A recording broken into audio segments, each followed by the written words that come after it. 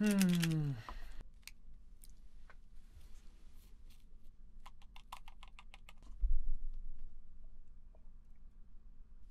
아, 주간 EPL 솔로 자 7라운드 킹갓 제네럴 엠퍼로 충무공 플레이어 시간입니다.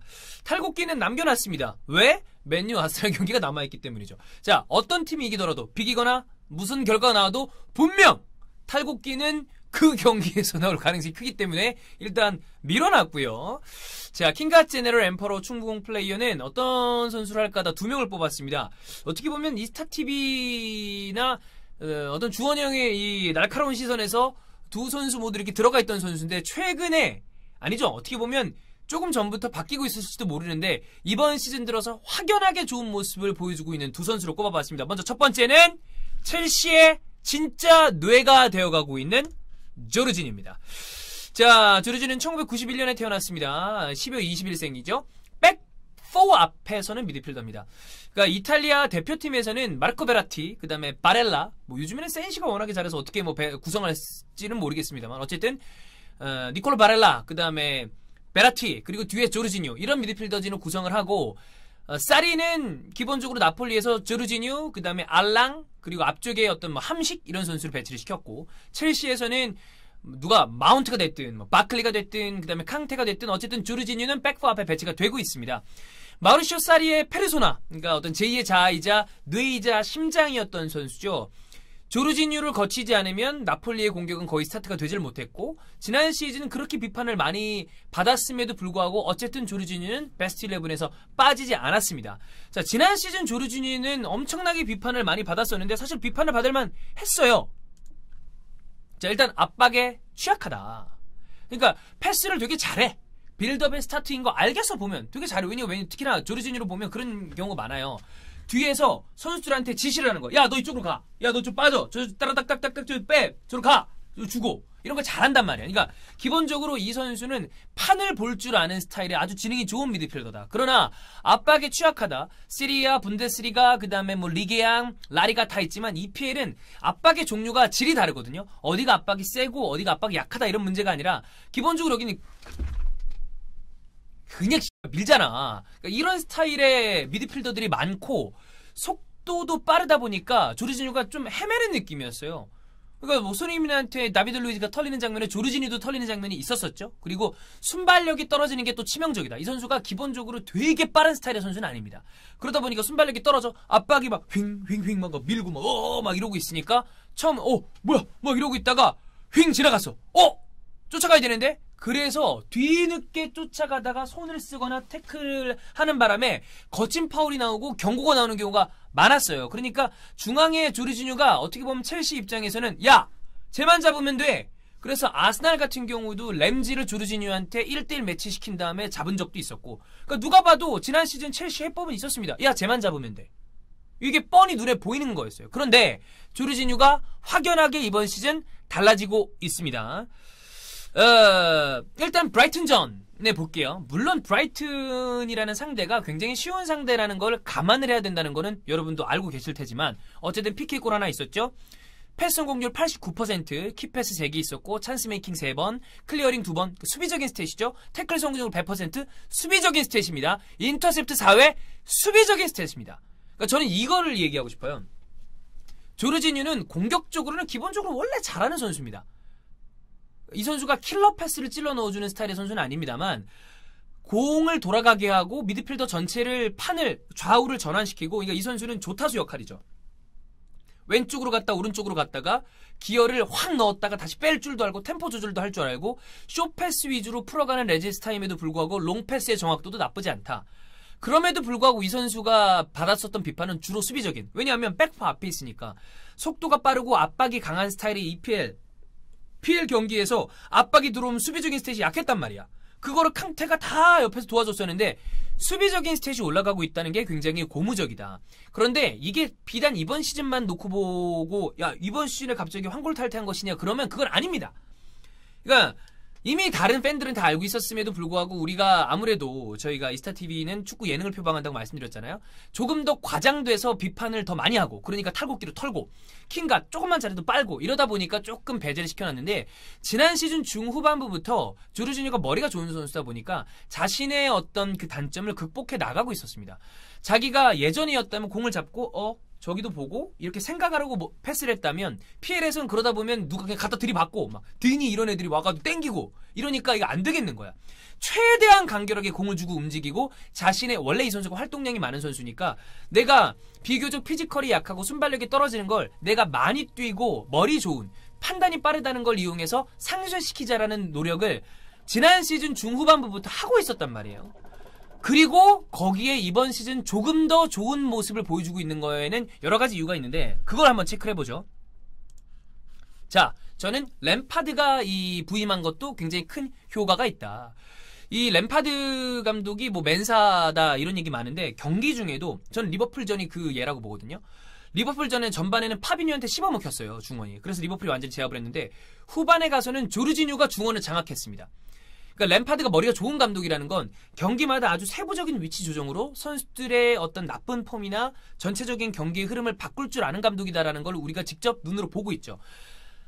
조르지뉴한테 약간 반칸에서 한 칸 높이 야 너 백포 앞에 있는 것도 좋은데 너 앞에 가서 전방 압박해. 그럼 뭐가 좋냐? 전방에서 압박을 하다가 뚫리는 경우에도 뒤에 캉테나 다른 미드필더들이 있기 때문에 완전히 벌거벗겨지는. 그러니까 예전에 조르지뉴 조르지뉴는 팬티 역할이었단 말이야. 마지막에 가슴을 보호해주고 어, 뭐 속옷도 차고. 그러니까 마지막에 딱 막아줘야 되는데 조르지 팬티 바로 팬티야. 확 벗겨버리면 돼. 이거 안 된단 말이에요. 근데 앞에 겉옷 역할을 하게 해주는 거지. 그러니까 겉옷을 벗겨도 밑에 받쳐 입은 티가 하나 더 있단 말이에요. 그러니까 방어가 가능하다. 그랬는데 이 선수가 전방 압박에 또 괜찮은 역할을 해줄 수 있는 이유는 뭐냐면 엄청 많이 뜹니다. 경기에 따라서는 14km에 육박하는 활동량을 보여줄 때도 있어요. 그러니까 한 칸 앞으로 배치를 시킴으로 인해서 조르주니의 단점은 상쇄시키고 장점은 부각시킬 수 있는 원래 이 선수는 많이 움직이면서 패스 길을 봐주고 서로 주고받는 역할의 그런 스타일의 레지스타기 때문에 여러 가지 장점을 다 부각시키고 단점을 깎아내줄 수 있는 역할을 부여해줬다. 이런 게 굉장히 좋고요. 아까 얘기했던 것처럼 지능 이게 그 역할에 다 나온다는 거죠. 간결하게 플레이하는 건 지난 시즌부터 보여주고 있었고 이 선수가 동료를 이용을 기가 막히게 합니다. 주고 들어가는 움직임이 빨라.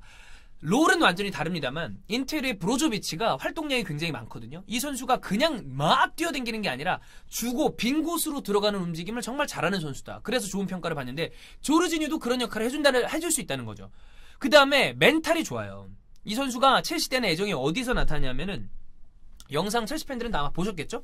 엄마랑 그 자기 그 shop에 자기 shop이 아니죠. 첼시 shop에 자기 유니폼의 이름, 그러니까 첼시 유니폼에 자기 조르지뉴 이름이 박혀 있는 유니폼을 보고서 감격하는 모습. 그러니까 첼시에 대한 애정이 있다는 거예요. 그리고 램파드가 이런 얘기를 했습니다. 지난 시즌에 무슨 일이 있었든 간에 피치 위에서든 라커룸에서든 조르지뉴는 타고난 리더다. mental이 좋다는 얘기죠. mental이 좋은 선수는 보통은 살아남기 마련입니다. 축구 실력이 아주 떨어지지 않는 이상은 아주 떨어지는 선수 한 명 있었죠. 예, 어쨌든 그렇기 때문에 조르지뉴는 지금 앞으로 더욱더 발전해갈 가능성이 크다. 이렇게 볼 수 있습니다. 자, 이제 뭐 우리가 또 이게 킹갓 제네럴 엠퍼로 충공 플레이다 보니까 좋은 점에 대해서 막 이야기를 했는데 사실 그렇다고 해서 100% 최고의 미드필더라고 보기는 아직 어렵습니다. 왜냐하면 나폴리 시절에도 이 선수가 되는 날이랑 안 되는 날의 기복이 되게 컸어요. 브라이튼전 그러니까 상대가 약하기 때문에 아, 조금 돋보였고 경기마다 아직까지는 100%야 이 선수가 매 경기 잘한다고 보기에는 아직 시즌 초반이니까 조금 더 지켜봐야 되겠지만 지난 시즌 모든 그런 거 있잖아 뭐 그 뭐죠 그 아이언맨 제가 안 봐서 모르겠는데 여기 때리면 아프지 않아요? 그 가운데 있는 거? 그런 것처럼 조르지는 누가 봐도 중요한 중추신경인데 저길 빡 때리면은 팀이 약해졌던 건 사실이야. 그런데 조르지는 거기서는 벗어나고 있다. 그렇기 때문에 야 이거는 제가 봤을 때 저희가 다른 컨텐츠에서도 얘기했지만 코바치치가 굉장히 좋아지고 있습니다. 이것도 저는 램파드 역할이 크다고 봐요. 코바치치, 조르지뉴, 캉테로 이어지는 3명의 미드필더는 리버풀, 맨체스터 시티는 big 2니까 뭐 아예 위라고 치지만 밑에 나머지 팀들과 간극이 많이 차이 납니다. 위랑 별로 차이가 안 난다. 특히나 캉테 같은 경우에 사실 two volante에 강한 스타일의 미드필더잖아요. one volante에서는 약해요, 캉테는.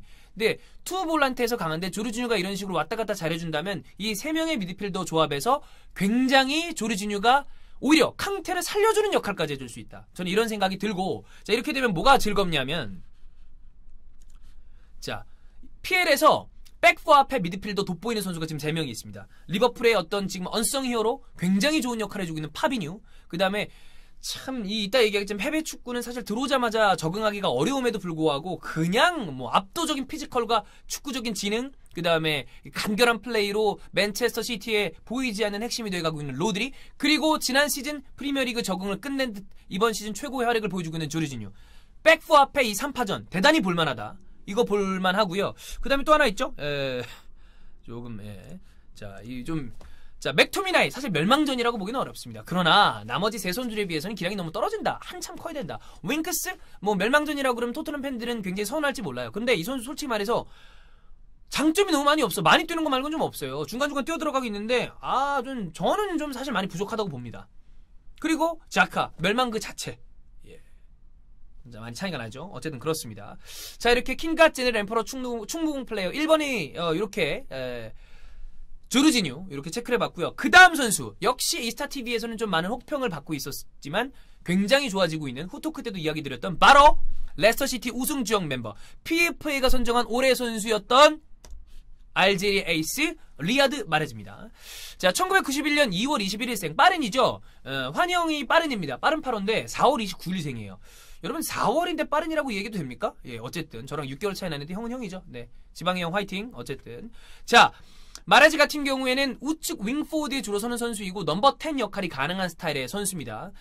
원래 사실 이 선수는 알제리 때도 그렇고 레스터 시티에도 그렇고 wing forward에 서 있지만 굉장히 경기의 영향력과 지배력이 큰 선수였어요. 그러니까 다시 바꿔 얘기하면 이 선수는 에이스 역할을 해야 되는 선수입니다. 오른쪽에서 macro성 플레이 접고 왼발이 강력하기 때문에 이 왼발 킥을 이용한 macro성 플레이를 하는데 알고도 에이스 역할이니까 전체 판을 좌지우지하는 선수였기 때문에 이 선수를 맡기는 어려웠죠. 괜히 캉테와 바디가 있었음에도 불구하고 PFA 올해 선수에 어, 선정된 것이 아니다. 리아드 마레즈였습니다. 자, 그런데 마레즈가 지난 시즌 사실 굉장히 좀 어려웠어요. 만급형입니다. 왜냐하면 이 선수가 6,100만 파운드, 그러니까 한화로 따지면 900억, 1,000억에 가까운 이적료를 주고 데려온 선수임에도 불구하고 stat은 괜찮았습니다. 12골 12개도 나쁘지 않죠. 근데 900억의 이적료에 과연 이 선수가 맞냐라고 묻는다면 그건 아니었다고 보는 게 맞아요. 비싼 이적료인데 지난 시즌 특히나 리버풀전에서 굉장히 중요한 PK 실축도 머리에 각인이 돼 있었고요. 공을 또 많이 끌어. 굉장히 공, 공 자체를 많이 사실 끄는 스타일의 선수다 보니까 야 쟤 뭐야? 특히나 거기에 저 꽂혀서 주원이 형이 야쟤 안 된다 이런 얘기를 많이 했었죠.